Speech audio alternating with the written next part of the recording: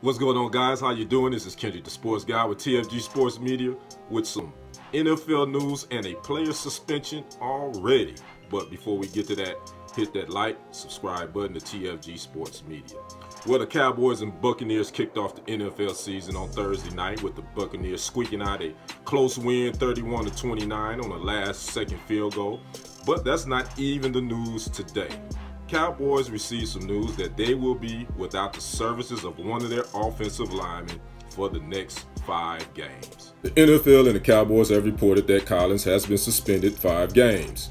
A violation of the league's substance abuse policy is given as the reason for the suspension. An arbitrator has ruled against Collins' appeal, but the player and his representatives believe that his appeal rights have not been exhausted. As a result, they believe the suspension should not have been announced or put in place at this point. Terence Steele and Ty Nsekhe are on hand as backup tackle options for the Cowboys. Collins started and played every offensive snap for the Dallas Cowboys on Thursday night. It was his first game since the final week of the 2019 season because a hip injury kept him from playing at all last year.